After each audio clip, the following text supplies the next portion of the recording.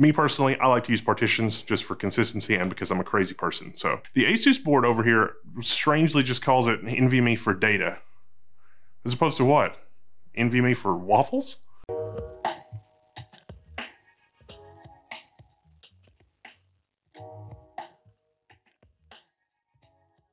As you know, here at level one, we have a lot of very powerful systems that we use for getting actual work done. And this, this is a 14 core Intel system, but this video applies to pretty much any higher end system, even the higher end AM4 systems. This is getting Linux set up with RAID because RAID. Most newer higher end Macs use a striped set of SSDs for more raw speed. Effectively, it's RAID 0. It's, at least it's RAID 0 in hardware. It's pretty fast, and the reason they did that is because the higher core count systems from, well, both Team Red and Team Blue, Intel and AMD, demand faster disk performance if you're gonna keep the CPU busy. So, I thought I'd give it a spin on the new Ubuntu 20.04. It's not, I guess, technically out when we're recording this, but hey, experiments.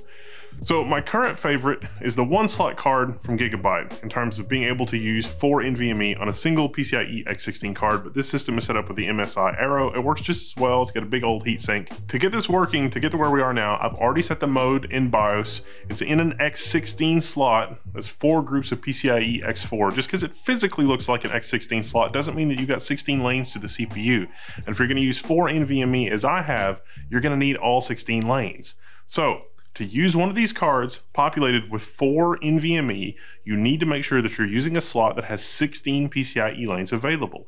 Generally, only enterprise grade cards that have an onboard PLX uh, bridge will operate at like X8 or maybe even X4, and then you're going to lose some real performance there.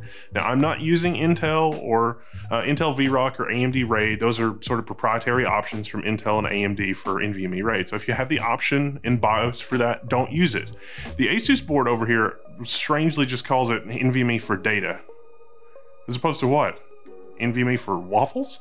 From the Linux Live USB, you can just run LSPCI and verify that you can see the four NVMe drives. If not, recheck your BIOS settings. For the setup here, we've got four Toshiba 512 gig NVMe.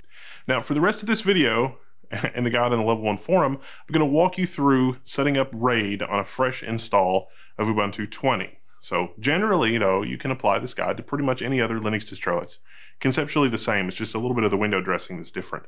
I also want to point out, if you've got four NVMe and you want to set it up, at least as of right now, Ubuntu 20 supports ZFS on root, meaning you can run ZFS as your main file system. Now ZFS is awesome because it combines the redundancy information and a file system all in one thing. So I love ZFS. I've done a ton of other videos on ZFS. If you can use ZFS, generally that's pretty good. Generally that's what I'd recommend.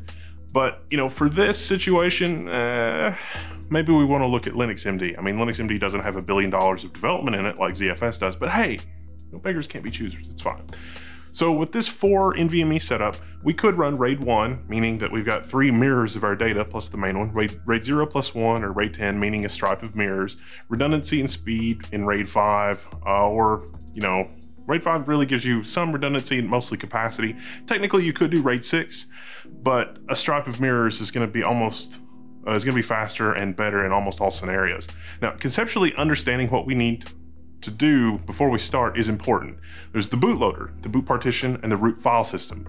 Optionally, you could have other mount points for your root, but you know, for example, setting up slash home to be its own device or partition is tremendously helpful if you distro hop and you want to separate your home directory and your files from like the rest of the operating system. Uh, you know, whatever, that's fine. The UEFI in the boot process will hand off to the bootloader. Now, right now, the default on Ubuntu 20 seems to be Grub2. Grub2 doesn't understand Linux MD, Linux software RAID, basically, but it can understand both EFI partitions and EXT partitions. Normally, with a single NVMe, you might have an EFI partition, which is formatted as MS-DOS FAT, which contains just enough info to be able to mount the partition where the kernel and the initial RAM disk are stored. The Linux kernel that's Linux. That's the program that manages all the other programs and stuff that you might run.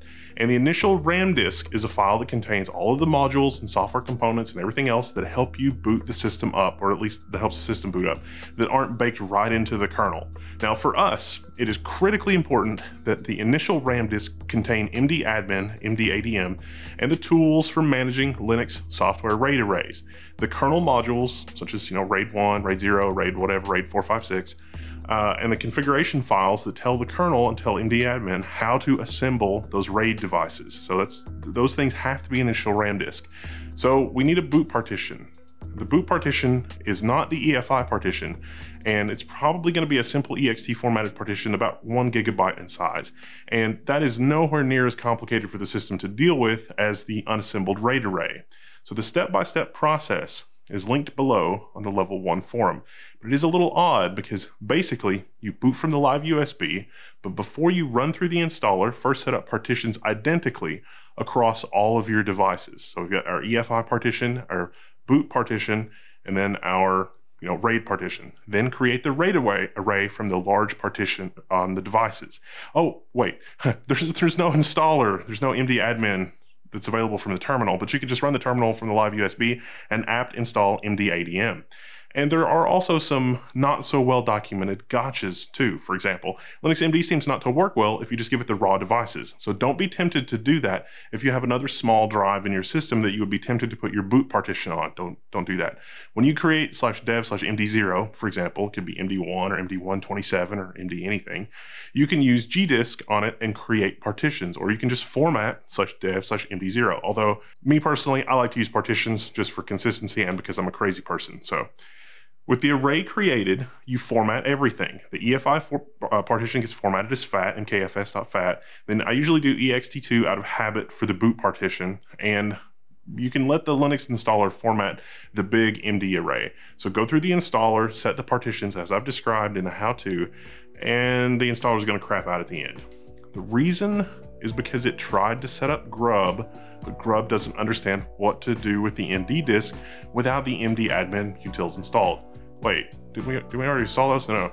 The system is mounted, the new system is mounted at slash target, but you can chroot there as in the guide on the forum and then apt install MD admin again. This is done twice because the second time you're actually installing it to the system that's being set up by the installer. It's not the, the installer itself, it's another system. And then you also have to make sure that you get the modules in etc modules, and then you run grub install and update the initial RAM FS. And so if you're paranoid, you can also do use ls RAM, uh, ls init uh, ls the init RAM disk and look for the modules and configuration to be on there. Once you're satisfied, reboot. something goes wrong and you at least get the grub prompt, you can explore manually typing in some magic words to get into your computer and you know get it to boot. Stuff like uh, Linux, open parentheses, HD3, comma GPT-1, slash vmlinuz and, you know, setting the initial RAM disk and doing that other stuff in the guide for troubleshooting. You get insmod ext2, just, just check out the guide. It's, it, it gets a little hairy, but it's useful to know how to manipulate grub manually like that and have some understanding of what's going on. Now, there might be an easier way to do this, but at least you've got maybe hopefully an understanding of what's happening under the hood when you're setting up Linux multi-disk. And I know other distros make this a lot easier. In fact, the server version of Ubuntu makes it a lot easier to set this up as well. But I thought this would be interesting to do with Ubuntu 20. And once you understand how to do it, it's really not that bad. So I don't know. Big thanks to our patrons and supporters on Floatplane for doing this. Turns out this video was actually helping somebody on the forum set this up and it was like, you know, I bet I could turn this into a video. And it wasn't even for Ubuntu 20, it was actually for a different distro. But with Ubuntu 20 release kind of on the horizon, I thought this might be a useful video to do. And big kudos to the Ubuntu installer team's, you know, uh, work that they've done on the new installer because it now has a safe graphical mode option in the installer. I think every Linux distro needs this option. Some do. This is a new feature relatively for Ubuntu, so I'm always going to praise it every time I see it, even though I think it it's, it was sort of there and then came back and then disappeared, then came back again. Safe graphics, safe graphics, safe, safe graphics. Every every Linux installer needs safe graphics or a good text mode installer. I would accept a good text mode installer. That would also be completely fine. I'm Wendell. This is level one. If you found this guide useful or if you want to support our work or the other stuff that we do, I'm to try to get more of these out. Join us in the forums at level one techs, Floatplane, Patreon, whatever. I'm Wendell, I'm signing out. I'll see you in the forum.